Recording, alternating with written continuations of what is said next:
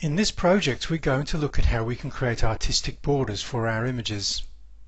Now as well as the image that I'm going to be working on, I've got some resources here. I've scanned some paper on my flatbed scanner to get this lovely paper texture. I've also got a, a grain uh, file that we can emulate film grain with and I've also got my creative border that I'm going to be using today. Okay, so let's come back to our host image and uh, we're going to start uh, by um, adding uh, this creative border. I've got all of the images available in the project bin as we can see here. In order to just to add this uh, creative border to my image, all I need to do is click and drag that border into the image preview here. And now we've got that. It's a little bit smaller than the image I'm working with, so I'll just need to adjust the scale of this creative border. Okay, so let's just uh, collapse this uh, project bin and I'm going to use the keyboard shortcut for the free transform command.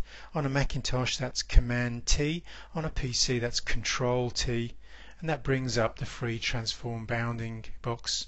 Just going to need to uncheck the constrain proportions just in case these are different aspect ratios here. Now I'm just going to come up to the uh, corner handle and then drag it to the corner of this image. They will snap into place uh, because the, uh, there's a slight uh, magnetic effect on these uh, edges that we're working with.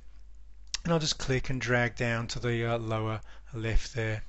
And now that I'm happy that the two files are the same size, I'm just going to commit that scaling Okay, now we've got the border. Uh, it's a very quick uh, operation in order to um, uh, to knock out uh, that image. We're just using the uh, the screen blend mode here. So we're coming down from normal uh, down to screen. And very quickly we're seeing that as black is the neutral color in the screen blend mode, our image from the layer below automatically appears. And we've got all of the subtlety of these lovely beautiful edges that we've got working here. Okay, now if I want to emulate that uh, film grain effect, I'm going to bring in uh, my next uh, image. So I'll return to the project bin and pick up my uh, grain image and drag that into the project file as well and let go. Okay, and again we'll need to scale this. I'll just collapse the project bin by double clicking. Uh, Command T on a Mac or Control T on a PC to access that free transform. Again, I'll need to uncheck that constrain proportions and then just resize this uh, to fit the host file. And again we can commit that um, to size. Okay now that we've um, got that uh, grain file the same size I'm going to choose another blend mode now. And uh, the blend mode I'm going to be using is the overlay blend mode now if you want a slightly more subtle uh, effect then you can try the soft light and that gives you a little bit more uh, subtlety to this grain.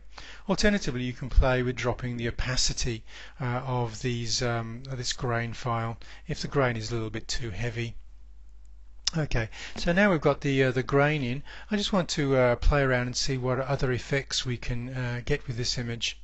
Uh, if we decided we didn't want a, white border, we wanted a black border instead, then uh, I can show you how we can achieve that. I'm just coming up to my border layer here and I'm going to uh, right click and choose duplicate layer and I'll just accept the default name there. Okay, now all I need to do in order to create this effect is to invert this layer. And on a Macintosh that's Command I, on a PC that's Control I, to invert this layer and we're going to switch the blend mode from screen to multiply. Okay and there we have a, black version of the uh, of the border that we've created. Now you can switch off the uh, the border underneath but uh, we're losing a little bit of the subtlety of those um, lovely edges here. So I'm just going to switch that uh, border back on Okay, let's take a look at uh, how we can uh, get some other effects here. I want to introduce uh, a paper texture uh, to this file. So I'm just going to switch off the, the black border as I'm preferring the white for this particular project.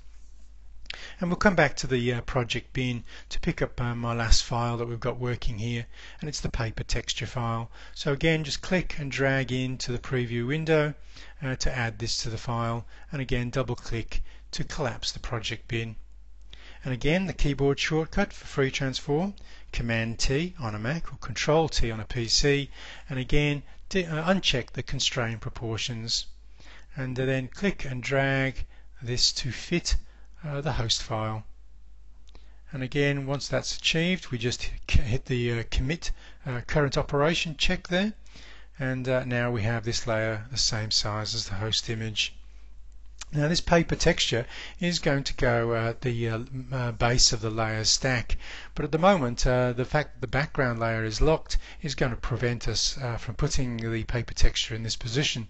So I'm just going to click and drag that little lock icon uh, to the trash can in the layers panel and that uh, unlocks the layer. And this allows me to click uh, on the paper texture to select it and then drag it to the base of the layers panel here. Okay, so um, the way we can uh, pick up that uh, texture is simply to um, select the image layer and then put that into the multiply blend mode and uh, this allows us to pick up this paper texture. Now at the moment we're only picking it up uh, on the image itself and I want to pick it up on uh, the border as well. Let's just uh, put this uh, back into normal mode and let's see how we can pick up this border and put it onto a, layer mask on the actual image layer itself. And the way we're going to do that is select the border layer and then from the select menu choose all and then from the edit menu choose copy and that copies the pixels of this border layer into the clipboard. We're now going to select the, uh, the image layer and we're going to add a layer mask.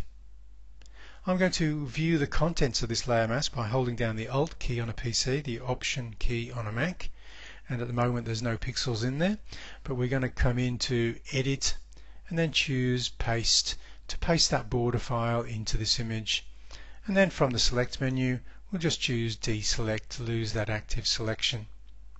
Now this um, um, um mask at the moment is working the wrong way uh, around. It's knocking out the image uh, rather than the edge. So I'm just going to invert this layer mask. Uh, Command I on a Mac or Control I on a PC inverts that layer mask. Now we're viewing the contents of the layer mask still, so if we want to view the image as well as this mask, we're going to have to click on the layer thumbnail to return, return to that normal view.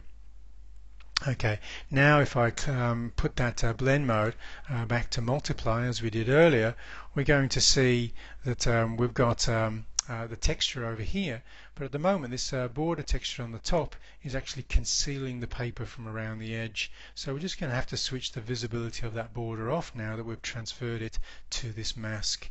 So we'll just click on that visibility icon and now we have the uh, paper texture around the edge and also through the image. Now the whole thing is just looking a little bit darker so I'm just going to put in a, a couple of adjustments to fine tune the color and tonality of this finished version.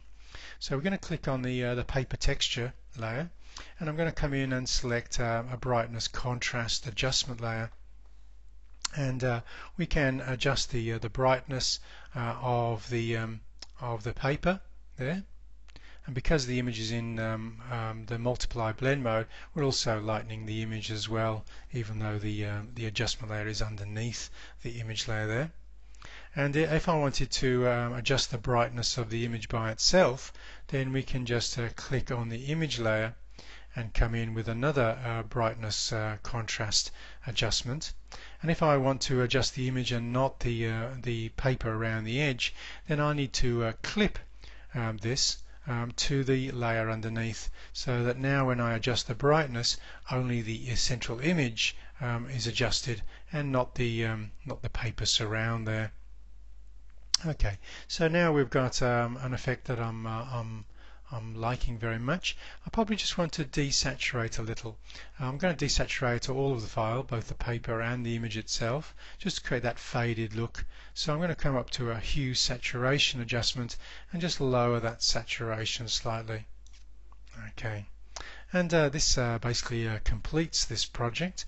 Um, obviously there's many options here. We can uh, play with the uh, the borders. Here we can knock out that edge. We can switch to a, black edge but the paper texture. We've got many little combinations that we can play with uh, um, in order to create the desired effect that we're looking for.